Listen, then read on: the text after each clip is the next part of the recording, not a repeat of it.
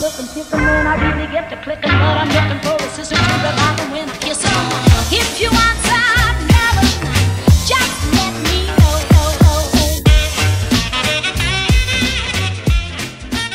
know. Welcome to the latest episode. It's um, so close to Christmas, it's unbearable, but in the right way. I've not done a review for a while, but I have been buying the mince pies, and the, and the problem's been timing. So this is going to be an extra special, long, extra, like three. I'm going to do three.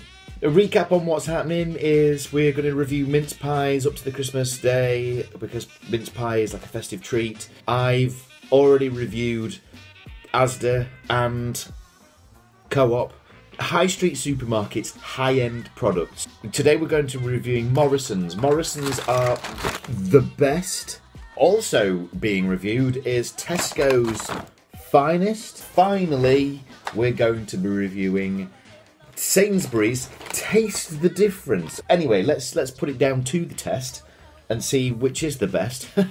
the one to beat is Co-op 4.7. So let's see if anybody comes close. First up is Sainsbury's Taste the Difference. What I must say is first of all, comes in a a cellophane wrapper as well as it being in a box. So Maybe I mean, it's like Jurassic Park. What are what what have they got in there? What are they trying to keep in, or what are they trying to keep from getting out?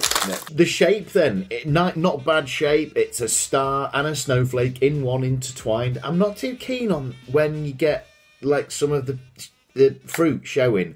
I'm not too keen on the colour of that either. But yeah, I say nice sound. It's broke, and it so that's a that's a loose pastry, if anything.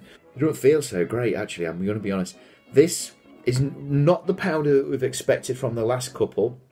This is uh, like a sugar. It's down to the taste then. No, barely anything in that. Bet you couldn't, you wouldn't describe that as being deep filled, would you? A number of elements there. Oh, there's an aftertaste as well. It's a bit like, and I'm sorry to say this Sainsbury's taste difference, washing up liquid. What would that be? Laced with brandy. I can't imagine it being that. That this is the news is that is a new recipe. So whatever. That's that's low down. That's a two point two. Next up, then we have we'll just put these um, to one side. Next up, then is we have Tesco's finest. It's got whole. It's got you know I can see inside it, which, as I said to you before, I'm not keen. Also, a little bit of sugar, not too much. No powder whatsoever. They're all starting to sound the same. I'm beginning to think that that sound thing was just my in my head. It's not a bad colour, is it? It's not a bad colour, but the shape is of a snowflake, and it sits quite nicely in the bun thing, the tin, and a little pleated edge. I'm going to say pleated. I don't think I mean that. Oh, I've noticed there overhang. That's a much better bottom. Uh, yeah, okay, right. All down, as we said before, to the eating. So far, it's not got a bad structure. Mm. Deep fill. Oh, I'm losing bits. Not a bad one, actually. That is not bad at all. This is just going with the. Right. This is cognac. I'm still enjoying it. I'm thinking about going for an extra bite, but I know I've got another one to eat as well, and and I've also got my tea in a moment, so I'm not. I'm going to hold back, but that's a nice sign, isn't it? I want to go for more. I think we're in the fours. I think it has to be Asda on that one. 4.2. That's currently in second place. And I think that's about right. Currently, that's about right. That is Tesco's are in second place. Our last review of the mince pies in this season. I should next year I'll go a bit better, but we have Morrison's the best. I do like the powder on this.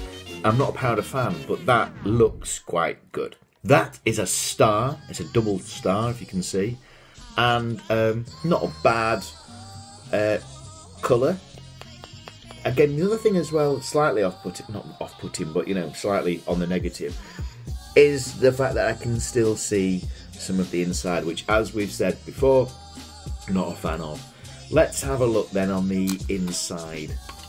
Well, it's quite crumbly as well, but also that could be just the fact that I've had it a while.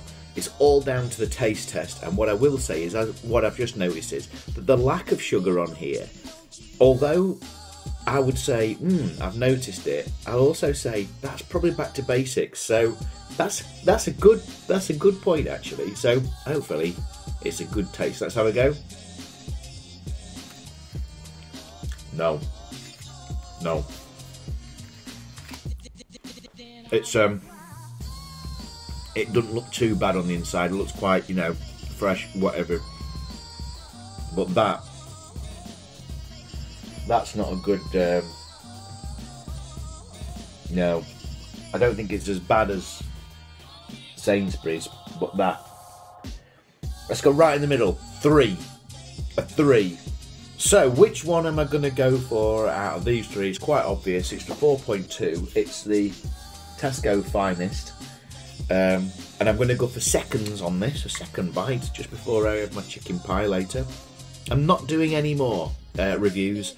The winner of the, the mince pie review, this year at least, is Co-op's range of mince pie. And what I will say is, I haven't got any, to celebrate with because they were so nice. I ate them all, and so I and I hadn't replaced them. That is the uh, review. I'll be back with something else, doing something else. Um, happy Christmas and uh, enjoy your mince pies. Go on. You've twisted me arm.